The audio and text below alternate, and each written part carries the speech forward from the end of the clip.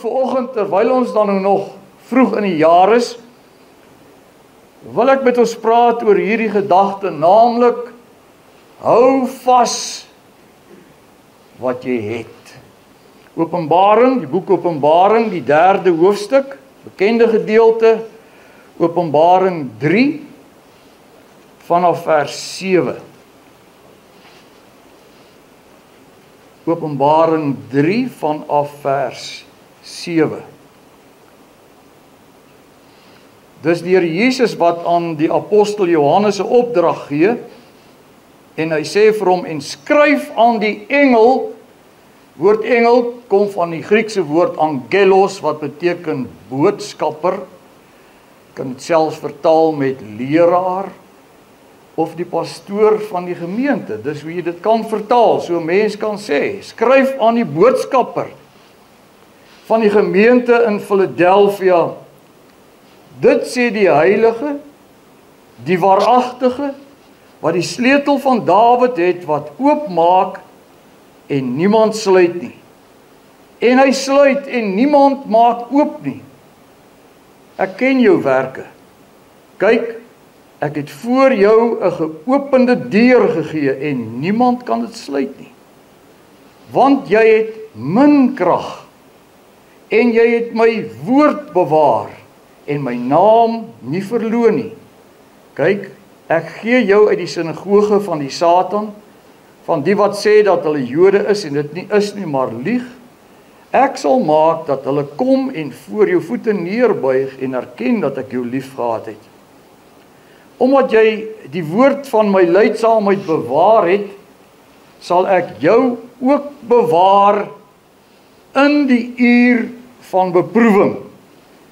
Ongelukkig 'n ongelukkige vertaling letterlik en jy kan dit regtig gaan navors staan daar geskrywe omdat jy die woord van my leidsaamheid bewaar het sal ek jou ook bewaar van uit die uur van beproewing. Die King James vertaal dit korrek en van die ander vertalings wat sê I will keep you from the hour of trial. Want ons gaan nie meer hier wees as hierdie versie in werking tree nie. Hy sê sal ek jou ook bewaar van uit die uur van beproewing wat oor die hele wêreld kom om die bewoners van die aarde op die proef te stel. Kyk, ek kom gou. Hou vas wat jy het sodat niemand jou kroon kan neem nie. Wie oorwin, ek sal hom 'n pilaar in die tempel van my God maak en hy sal daar nooit weer uitgaan nie. En ek sal op hom die naam van my God skrywe en die naam van die stad van my God, van die nuwe Jerusalem wat uit die hemel van my God neerdal en my nuwe naam wie oor het laat hom hoor wat die Gees aan die gemeentes sê. En let wel, hy sê nie aan die gemeente nie. Alhoewel hy hier aan 'n spesifieke gemeente skrywe, dit beteken dit moet ook met die ander gemeentes gedeel word. En dit moet ook met vandag se gemeentes gedeel word. Wie oor het laat hom hoor wat die Gees aan die gemeentes sê. Vers 11 is ons teksvers. Kyk, ek kom gou. Hou vas wat jy het sodat niemand jou kroon kan neem nie. Die van u wat al bevoorreg was om in van die groter passasiersvliegtye te vlieg sal my kan uitdra dat terwyl 'n mens nog daar op die aanloopbaan wag dat die vliegtyg opstyg dan kom daar 'n uh, 'n video vertoningkie op en daar is van die van die ehm um, waar dinge wat op strategiese plekke in die gangetjies gaan staan. En dan word daar veiligheidsmaatreëls gewys en aangekondig. Vir ingeval die vliegtyg sou val. Hulle wys vir jou waar's die nooduitgange op die vliegtyg. Hulle wys vir jou waar gaan daar 'n suurstofmaskertjie uitsak. Um al sulke tipe dinge. So vir 'n paar minute word daar aan jou verduidelik wat om te doen in 'n geval van die vliegtyg wat sou val. Nou ek moet bely ek neem nie baie waar wat hulle daar sê nie. Um ek kan net dink wat sou gebeur as ek op so 'n vliegtyg is en dan sal ek sê het ek maar opgelet wat hulle verduidelik het. Nou my broeder en suster, volgens 'n boodskap wat handel oor hou vas wat jy het is 'n waarskuwing aan ons. Dit verduidelik aan ons veiligheidsmaatreëls want anders as die vliegtye waarop ek al bevoorreg was om te wees wil ek u verseker dat hierdie vliegtyg waarop ons onsself op die oomblik bevind gaan sekerlik neerstort. Verseker. En daarom moet ons vanmôre nie maak soos wat ek maak wanneer ek op daai aanloopbaan sit en hulle wys daai video klippie nie. Ons moet vanmôre ag gee. Die woord van die Here, ons het dit saam gelees. Sê in vers 10 van ons geleesde gedeelte dat daar kom oor die hele wêreld oor die bewoners van die aarde 'n groot beproewing. Maak jy vanmôre saak wat wie ook al watter politikus, watter leier ook al aan ons beloof van 'n beter toekoms in 'n wonderliker wêreld. Die Bybel sê in 2 Timoteus 3 vanaf vers 1 weet dit dit is asof hy dit onderstreep. Hy begin daarmee. Hy sê weet dit dat daar in die laaste dae swaar tye gaan kom. En dit klink aanvanklik baie negatief. Ons almal, ek inkluis, soek 'n beter Suid-Afrika vir elkeen. Soek 'n beter wêreld om in te woon. Maar dis ongelukkig nie waaroor die Bybel praat as hy praat van die tyd waarin ons lewe en dit wat op hierdie wêreld wag nie. Maar anders as die wêreld het een ek iets om aan vas te hou. Wat die Here Jesus se woord ook vanmôre deur ons teksvers vir ons sê, kyk ek kom gou. Hou vas wat jy het. Wat bedoel hy? Daar's vir jou redding. Daar's vir jou 'n toekoms, daar's vir jou uitkoms. En ons weet dat ons gaan maar net hier verby. Die eintlike lewe wag vir ons aan die ander kant.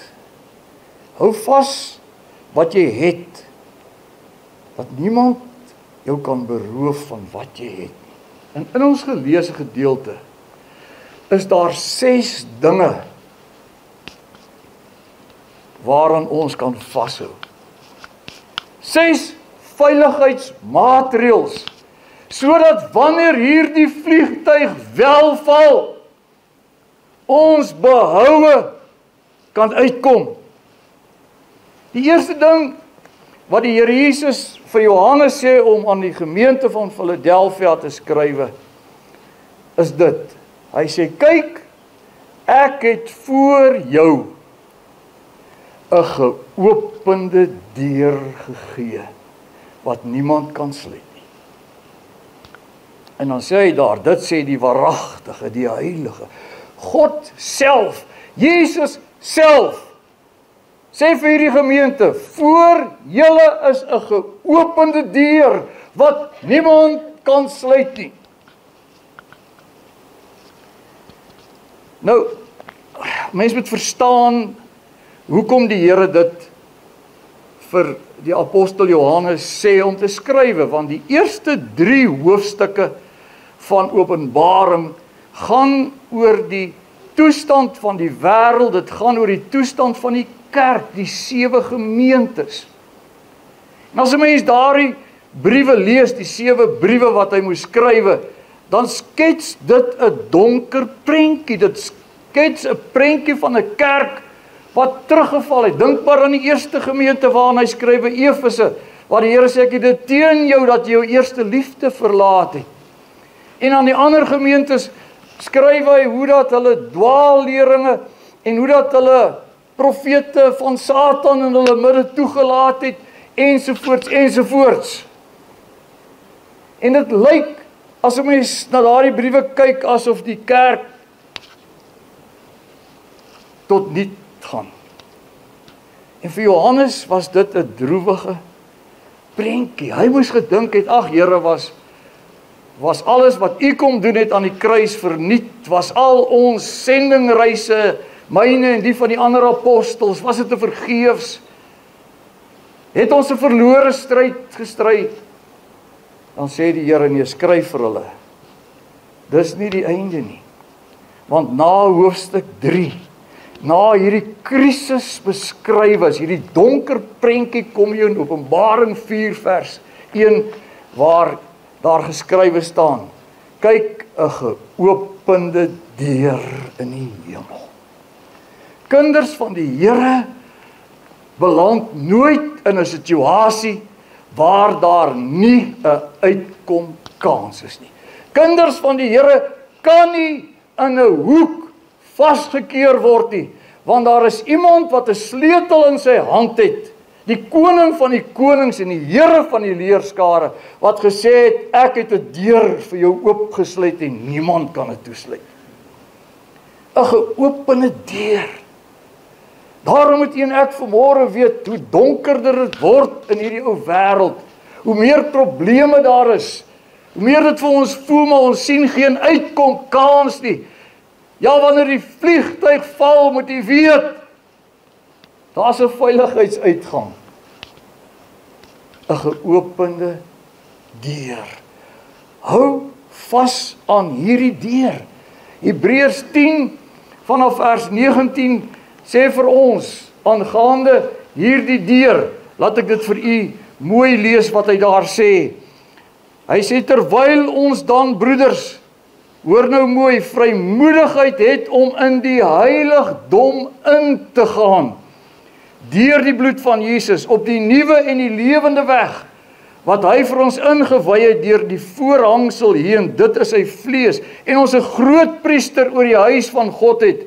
Laat ons toetree met 'n waaragtige hart. Ons het 'n deur waardeur ons kan ingaan. Ons het toegang tot die troonkamer van God. Ons het 'n plek en iemand om na toe te vlug wanneer die vliegtyg val. Daarom kom die woord van die Here vanmôre en hy sê: "Hou vas wat jy het. Hou vas aan hierdie geopende deur." En dit het te doen soos wat ons ook Woensdag aand ge gehoor het, onder andere met ons gebedslewe. Ons moenie ophou om in te gaan nie. Ons kan toetree nie deur ons verdienste nie, maar deur sy gestorte bloed. Die voorhang sal dit geskeur. God self het dit gedoen. Ons kan toetree. Daarom kom Paulus ook in 1 Korintiërs 10 vers 13 se B gedeelte waar hy sê maar God is getrou wat nie sal toelaat dat ons bokant ons kragte versoek word nie. Daai woordjie versoek kan jy ook vertaal met beproef. So ons kan dus ook sê maar God is getrou wat nie sal toelaat dat ons bokant ons kragte beproef word nie. Maar hy sal saam met die beproewing die uitkoms gee sodat ons dit kan verdra. 'n Geopende deur. Kyk, ek het voor jou 'n geopende deur gegee. Die deur is waaragtig oop. Jy kan hom nie toemaak nie. Die duiwel kan hom nie toemaak nie. Die politiek kan hom nie toemaak nie. Die omstandighede kan hom nie toemaak nie. Daar's iets waaraan jy moet vashou. Jou toegang tot God. In Handelinge 27 waar Paulus 'n skipbrekeling is. Tussen 276 ander siele wat die Here nie ken nie. Hier vanaf vers 23 tot 25 staan Paulus op en hy sê hou moed manne. Hy sê want ek glo God. Hy sê daar het in hierdie nag by my gestaan 'n engel van die God wat ek dien. Daai woordjie dien in die Grieks beteken dit priesterlike dienswerk. En in die lig van die Ou Testament weet ons dat dit net die priesters was wat direkte toegang tot God gehad het. Wat sê Paulus in die Nuwe Testament? Toe hy 'n skipbrekeling is en hulle vir baie dae ronddobber, alle hoop om gered te word opgegee. Hy staan op en hy sê: "Manne, moenie vrees nie. Ek dien God." Letterlik sê hy ek het toegang tot God. In hierdie krisis, dis nie die einde nie. Daar's 'n deur, 'n geopende deur. Hou vas wat jy het. Dis die eerste punt. Ek hoop u het gevolg. Die tweede skyfie wat ek as ek is nou nie 'n ligwaardin nie. Wat is 'n manlike vorm? 'n Waardin.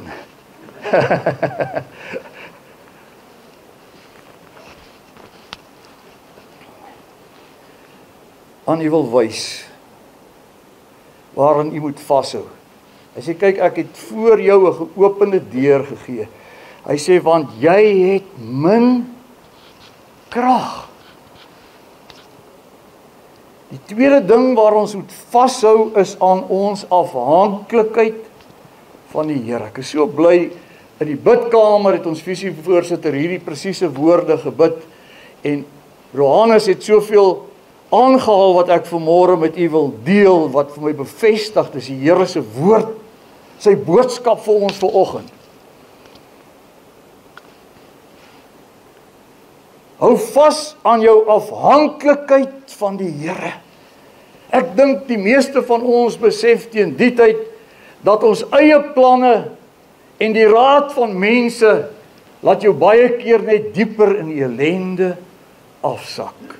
Die Here sê vir hierdie gemeente van Philadelphia, hy sê jy het min krag.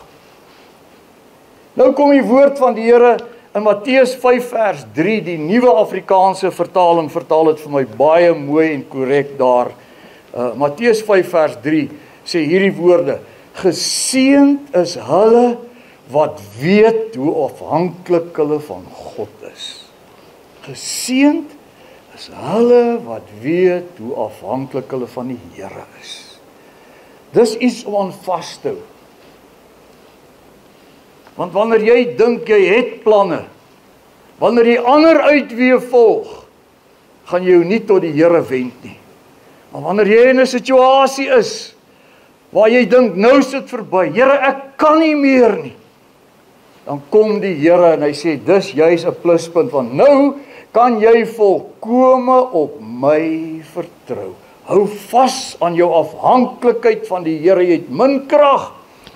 2 Korintiërs 12 vers 9 waar die Here vir die apostel Paulus in sy krisisuur sê: "My genade is vir jou genoeg en my krag word in swakheid volbring. Jy het min krag. Hou vas aan jou kragteloosheid en hou vas aan die almag en die krag van die Here." Iets om vas te hou. Here, ek is so afhanklik.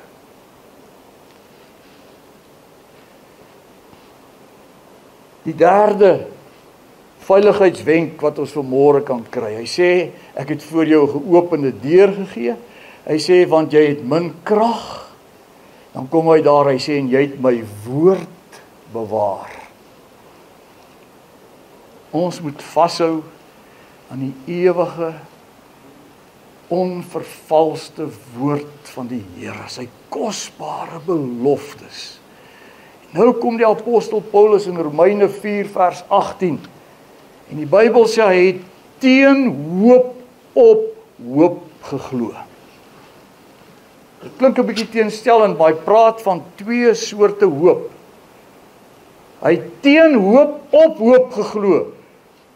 In die eerste plek, die eerste hoop is gelykstaande aan 'n ashoop.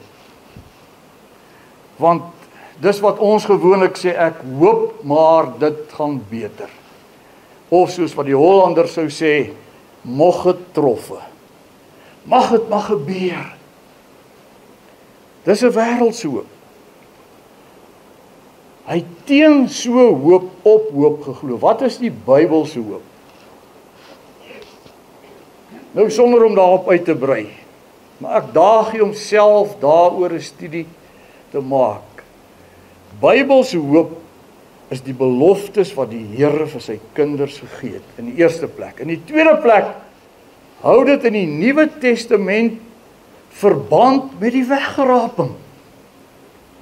Ons gaan verlos word. Dis waarop Paulus gehoop het. Dis die hoop wat in ons was die hele Nuwe Testament. En u moet onthou, die Nuwe Testament is geskryf onder geweldige beproewing, onder geweldige vervolging, verdrukking. Ons weet hulle het baie baie swaar gekry en Paulus sê, dit wat my aan die gang hou, dit waarin ek vashou is ek gaan verlos word. Dis die hoop wat in ons is. Dan kom hy in vers 20 van Romeine 4, hy sê en, en sonder uh, om te twyfel het hy aan die beloftes van God vasgehou. Hy's versterk deur die geloof omdat hy vas oortuig was dat God ook die mag het om te doen wat hy beloof het. Sy woord is die waarheid. Dis iets om aan vas te hou. En soos wat ons ook Woensdag aand vermeld het, kom ons maak weer moeite met God se woord. Ons lees soveel goed Soveel dinge wat na ons kom deur die media, deur ons selfone. Soveel soetsappige, valse, onbybelse boodskappe al is daar teksverse daaraan gekoppel. Dis die tyd geraak dat ons kyk na wat het God vir ons gesê. Watter beloftes hy aan ons gemaak het. Wat hy van ons verwag. Jy het my woord bewaar. Broeder en suster, kom ons glo die woord. Daar's hoeveel beloftes. 2 Korintiërs 1 vers 13 sê want hoeveel beloftes daar ook van God mag wees. In Christus Jesus sal hy ja en amen. Ek dink dit is vers 13, ek dink dit is vers 19 en 20 van 2 Korintiërs 1 hoeveel beloftes daar ook van God mag wees. Glo die woord, doen die woord, respekteer die woord en u sal uitvind wanneer dit donker word, is daar 'n lig. U woord is 'n lig op my pad en 'n lamp vir my voet. Hou vas aan die woord, Here. Hou aan die woord vas. U het beloof. Paulus sê hy wat beloof het, is getrou. Dit was die derde veiligheidsteken. Ek het voor jou 'n geopende deur gegee. Jy het min krag. Hou vas aan jou afhanklikheid. Jy het my woord bewaar. In die vierde plek, die vierde veiligheidswenk. Hy sê jy het my naam nie verloon nie. Die naam van ons Here Jesus Christus. Spreuke 18 vers 10 sê Die naam van die Here is 'n sterk toring. Die regverdige vlug daarin en word beskik. Is om aan vashou die kosbare naam van die Here Jesus Christus. Handelinge 4 vers 12 sê daar is geen naam onder die hemele gegee waardeur ons gered kan word nie behalwe die naam van Jesus. Sy naam beteken ons redding. Dis in sy naam dat ons bid. Johannes 16 vers 23 wat ons leer om te bid in die naam van Jesus. Die naam waardeur ons oorwin, Filippense 2 vers 9 en 10 sê God het hom Jesus uitermate verhoog en aan hom 'n naam gegee wat bo elke naam is sodat in die naam van Jesus Christus sal buig elke knie van die wat in die hemel, die wat op die aarde en onder die aarde is. Dis hierdie naam wat ons oorwinning gee. Hoe mooi is daardie ou koortjie wat ek saam met moedersmelk ingekry het. Jesus is die soetste naam. Ons sing hom nog in ons gemeente. Soetste naam vir swerweling. Soetste naam vir sterweling. Jesus. Dierbare Jesus. Jesus sê vir Johannes skryf vir Filadelfia en vir al die gemeentes hou vas aan my naam. Kosbaar is die naam van die Here. In die vyfde plek moet ons nie net aan sy naam vashou nie. Hy sê ek het vir jou 'n geopende deur gegee. Jy het min krag. Jy het my woord bewaar. Jy het my naam nie verloor verloon nie. Maar weet jy in die vyfde plek sê hy vir hulle hou vas aan julle eie naam. Philadelphia. Woord Philadelphia kom van twee Griekse woorde. Philos wat beteken liefde. Delphia Adelphos wat beteken broeder. Hou vas aan die broederliefde. Dis wat die naam Philadelphia beteken. Broederliefde. Dank God dat ons aan die liggaam van Christus mag behoort. Dank God vir 'n kosbare gemeente. Ons het almal foute, ons het almal gebreke. Ons gebed elke dag is Here, U weet hoe danig ons is gedagtig dat ons stof is. So as u dalk 'n volmaakte gemeente op 'n ander plek vind, moet asseblief nie so toe gaan nie want dan gaan hy sy onvolmaaktheid verloor. Maar hier besef ons almal ons het soveel van die Here nodig. Ons het mekaar nodig om mekaar te waardeer, mekaar te verdra, mekaar te vergewe wat op, wat die apostel Paulus skryf ook in Hebreërs 10. Hoor wat sê hy hierso in vers uh 5 vers 24 sê laat ons op mekaar ag gee. Hebreërs 10 vers 24. Laat ons op mekaar ag gee om tot liefde en goeie werke aan te spoor en laat ons ons onderlinge byeenkomste nie versuim nie so sommige die gewoonte het nie, maar laat ons mekaar vermaan na mate jy die dag sien nader kom. Almal van u kan daarvan getuig. So mens baie keer kerk toe kom of is ek die enigste een wat voel ek is so moeg, ek is so moedeloos, ek is so te neergedruk. Maar die oomblik as ek my broer se hand skud Die oomblik as ek u sien as gemeente. Dis wat Paulus sê toe ek die broeders sien, is ek versterk. Daaraan moet ons vashou. Kom ons bly by mekaar. Kom ons staan vas, kom ons bemoedig mekaar, kom ons vermaan mekaar. Maar bo alles kom ons hê mekaar lief met die liefde van Christus. Dis wat Philadelphia beteken. Weet jy dat Philadelphia Daar was sewe gemeentes, net vir twee gemeentes was daar nie kritiek nie. Die een was Smyrna, dink is die tweede gemeente waarna hy geskryf het. Smyrna wat wat kom van van die woord mirre af wat wat die martelaars gemeente was. Mense wat soos soos vandag se se ondergrondse kerk uh vir wie ons ook bid en wie ons ook as gemeente ondersteun. Mense wat wat nie net bereid is om vir die Here te leef nie, maar ook vir die Here te sterf. Smyrna was so 'n gemeente. Voel baie keer so skaam. Dikwels as ons bid ek en maak, dan sê ek vir die Here, Here, Ek kry dit nie eers reg om vir u te lewe nie. Maar maar die die die, die Smyrna mense. Hulle lewe nie net vir u nie, hulle is ook bereid om vir u te sterf. Waar kom ons in? OK, ek wil nou nie oor hulle praat nie, maar dit is een van die gemeentes. Die tweede gemeente wat geen kritiek gehad het nie, was Philadelphia. So 5 uit die 7 kon die Here fout mee vind.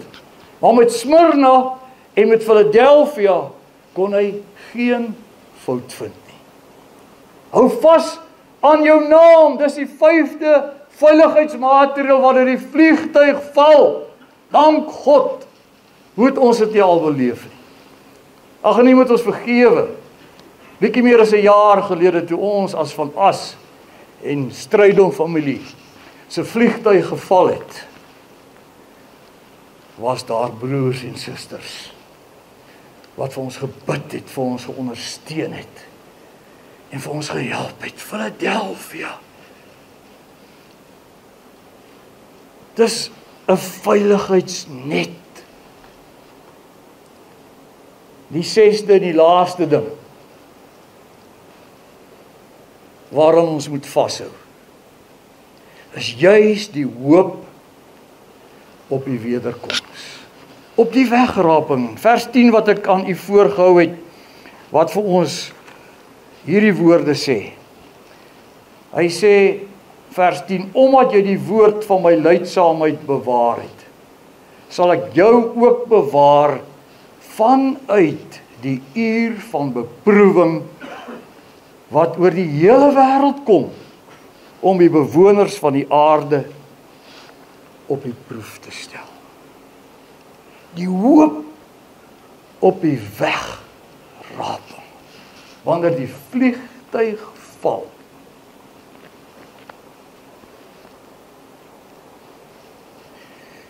En weet jy, gaan dink 'n bietjie mooi.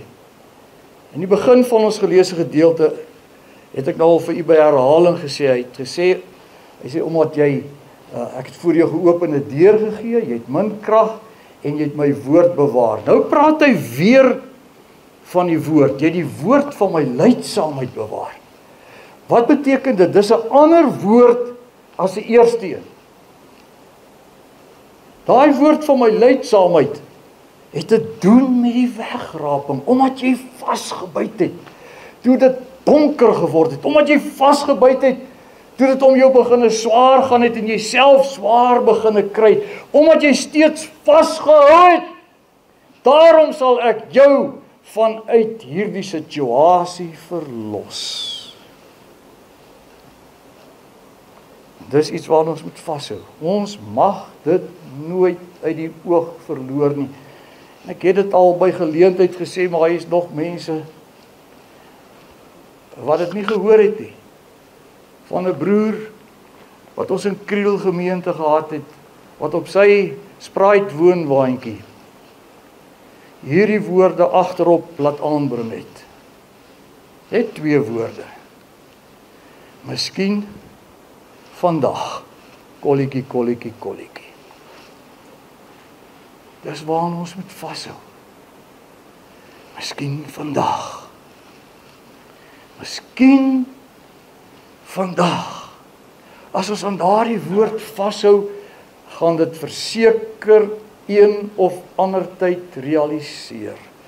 Paulus kom in Romeine 12 vers 12 wanneer hy juis oor hierdie saak praat, hy sê verbly julle in die hoop. Verbly julle in die hoop. Hierdie lewende hoop wat in ons is dat God getrou is.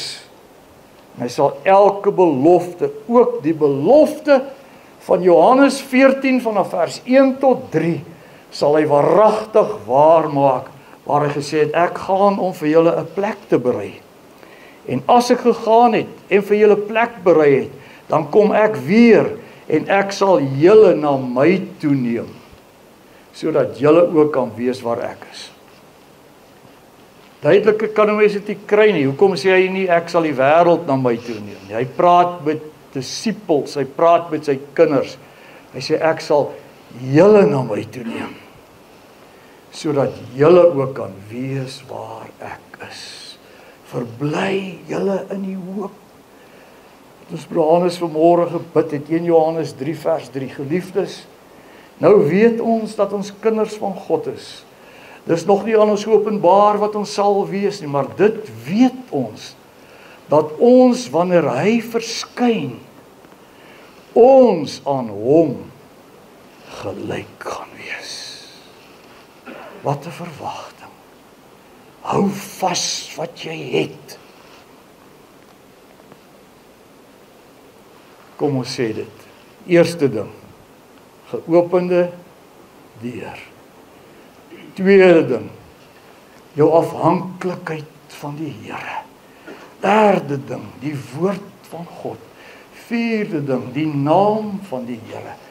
Vyfde ding, ons naam, Philadelphia. En die sesde ding, die hoop van die wegraping. Kom ons bid saam. Wonderlike Heer. Ons is op 'n vliegtuig, Here. Anders as die vliegtye wat op hierdie oomblik besig is in hulle duisende talle om op te styg. Waarvan baie min val. Weet ons vanmôre hierdie vliegtyg waarop ons is, waarop die wêreld is, gaan sekerlik val. Maar Here, dankie dat U ons nie vergeet het nie. O God, U veiligheidsmaatreëls gaan ons behoue laat bly. Gaan ons laat deurgaan om voor U te staan. Here, my gebed is as U vanmôre iemand is of iemand dalk na hierdie boodskap op die internet kyk en hulle nog nie 'n anker in hulle lewe het nie of die regte anker nie want al die ander ankers gaan breek. Maar dankie daar's 'n onwankelbare anker, rots, Jesus Christus. Ons gryp U vanmôre vas. Dankie Here. U die sleutel in U hand. Die sleutel van die hemel, die sleutel van ons toekoms. 'n Geopende deur. Here, soos die ou lied sê, I am weak but thou art strong. Dankie daarvoor. Dankie vir die woord. Help ons om dit weer lief te kry, Here. Dit te eet. Dankie vir die kosbare naam, die naam bo elke naam. Dankie vir 'n kosbare gemeente, Philadelphia. Here God. Dankie. As ons opstyg, gaan ons nooit weer af nie. Die wegraping. Iets wat jy spesiaal vir u eie voorberei het. Wanneer die duisternis hierdie wêreld gaan oorval, gaan ons by ons lig wees. Ons gaan in die lig staan. Ons gaan nie sien soos wat U is. Here vat ons swakke hande vanmôre in U sterk hand. Elkeen van ons in Jesus se kosbare naam.